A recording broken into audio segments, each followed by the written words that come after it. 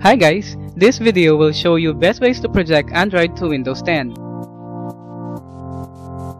Our first tool is ApowerMirror.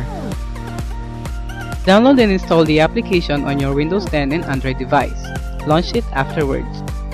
On your Android, hit the M icon at the lower mid of the screen. Tap the name of your PC to connect. Choose phone screen mirroring, then tap Start Now. Your Android is now mirrored to your Windows 10. And the other one is Reflector 3. Download and install the application on your computer and launch it afterwards.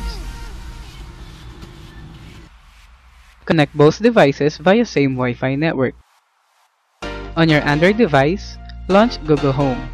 Open the menu on the top left side of the screen.